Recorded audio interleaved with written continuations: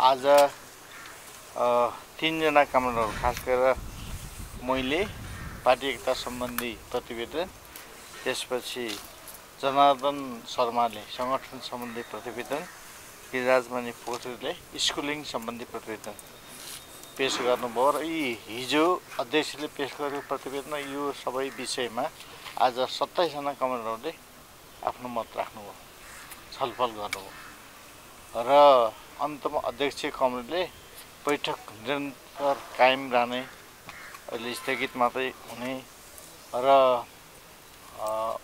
महासचिव कमरेडको नेतृत्वमा उपमहासचिव रहेको टिमलाई होमवर्क गर उठेका विषयवस्तुहरू कम्प्युटराइज गर्ने कार्यविभाजन गर्ने सिसीको कार्यविभाजन पिबियु कार्यविभाजन कमिटी कार्यविभाजन हाम्रो बाँकी छ।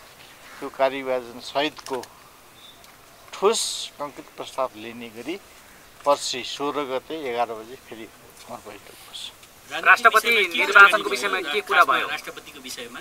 राष्ट्रपतिको विषयमा स्थिति राष्ट्रिय सहमति कायम गर्ने मूलभूत रूपमा धेरै कमरेडको आवाज आएको छ। यसलाई कङ्क्रिट निर्णय होइन। कसको नाममा? काङ्ग्रेसको नाममा हो कि एमालेको कसैको राष्ट्रिय सहमति भनेपछि काङ्ग्रेस एमाले भन्ने हुन्न।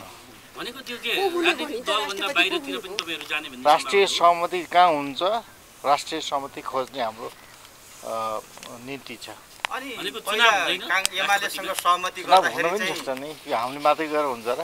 अरूले पनि गर्नुपर्ने। पहिला चाहिँ त्यो त अरू पार्टीसँग त बाँकी छ नि।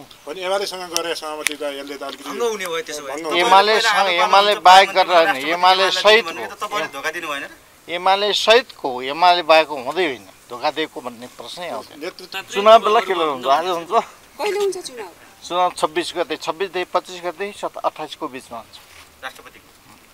तपाईँको चाहिँ एक महिना अगाडि- राष्ट्रपतिको विषयमा चाहिँ स्पष्ट धारणा चाहिँ के हो? धारणा च- राष्ट्रिय सहमति कायम गर्न पहल गर्ने। भएन भने? भएन भने त भएन भएन। त्यो पहल हामीले मात्रै भन्न हुँदैन। अरू पार्टीसँग गर्नुपर्ने बाँकी पनि छ नि।